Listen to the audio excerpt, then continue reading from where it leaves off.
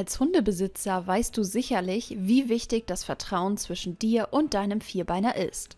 Schließlich ist es die Basis für ein harmonisches und erfolgreiches Zusammenleben. Doch dieses Vertrauen kann schnell zerstört werden, wenn du dich falsch verhältst. In diesem Video erfährst du, was das Vertrauen zu einem Hund sofort zerstört und wie du es vermeiden kannst. Ein entscheidender Faktor, der das Vertrauen zu deinem Hund erschüttern kann, ist eine inkonsequente Erziehung.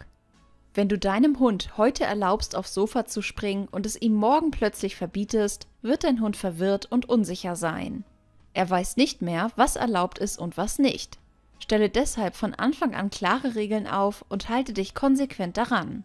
Nur so weiß dein Hund, was von ihm erwartet wird und kann sich sicher fühlen. Ein weiterer Vertrauenskiller ist eine unsensible Behandlung deines Hundes. Wenn du ihn grob anfasst, ihm Schmerzen zufügst oder ihn überforderst, wird er sich dir gegenüber distanzieren.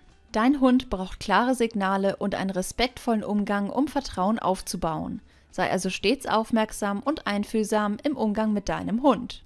Auch das Fehlen von Lob und Belohnungen kann das Vertrauen zu deinem Hund schwinden lassen. Wenn dein Hund etwas gut gemacht hat, solltest du ihn unbedingt loben und belohnen. Das gibt ihm das Gefühl, dass er etwas richtig gemacht hat und motiviert ihn, es beim nächsten Mal wieder zu tun. Wenn du aber nur kritisierst und bestrafst, wird dein Hund unsicher und ängstlich werden. Eine weitere wichtige Sache, die das Vertrauen zu deinem Hund zerstören kann, ist die Vernachlässigung seiner Bedürfnisse.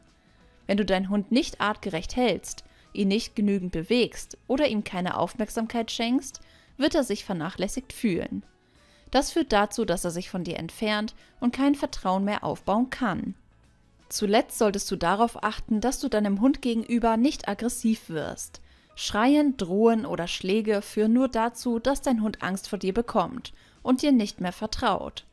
Zeige deinem Hund stattdessen immer eine ruhige und respektvolle Haltung und verhalte dich ihm gegenüber immer freundlich und liebevoll. Möchtest du jetzt noch wissen, was dein Hund fühlt, wenn du ihn falsch streichelst?